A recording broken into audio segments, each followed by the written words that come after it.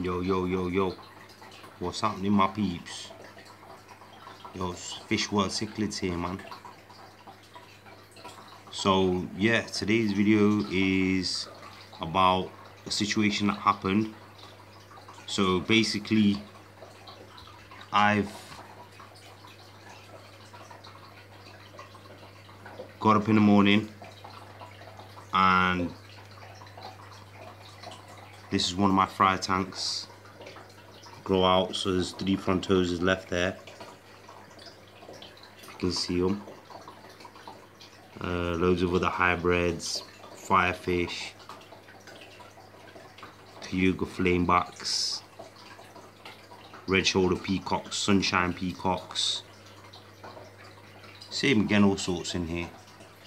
So basically what it is came to the tank in the morning and I looked at the thermometer which is there and catch it. Yeah but this thermometer were like way high way above you know the safe zone. So I'm thinking yo what's going on here? Do you know what I mean?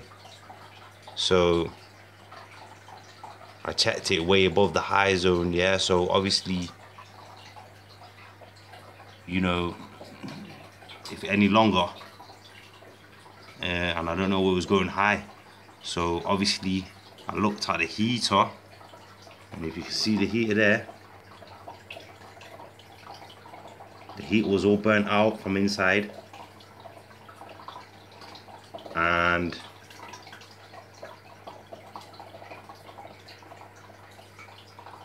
the thermometer, the heat, the temperature was just going up higher, higher, higher, higher.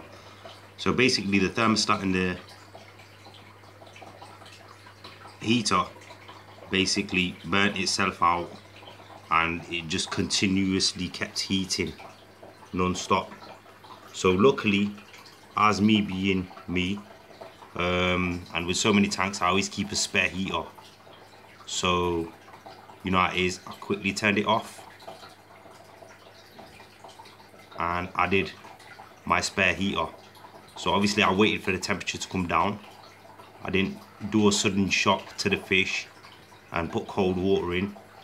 So I just allowed it to the temperature to decrease itself slowly and then switch the heater on the new one as soon as the temperature was in the right position so yeah just a word to people. Always make sure you have a internal thermometer. Whichever one it is make sure it's internal. Um, and um, always check it. Check it in the morning. Check it in the night before you go to sleep. You always want to check it. And make sure the temperature is not either dropping or going too high. My cases were going too high. And yeah, touch wood, I seen it in time. Do you know what I mean? But if I didn't get in time, I would have lost all this fry that you seen. So lucky as I am as I am, I always check. That's how I'm successful. Um, and yeah. So all this fry got saved. I always save fry. I never let them die. So check them out. There's quite a few there.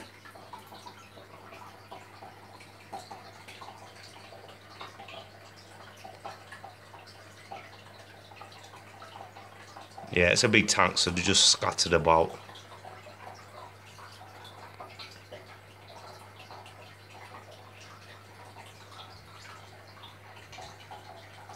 So yeah, always, always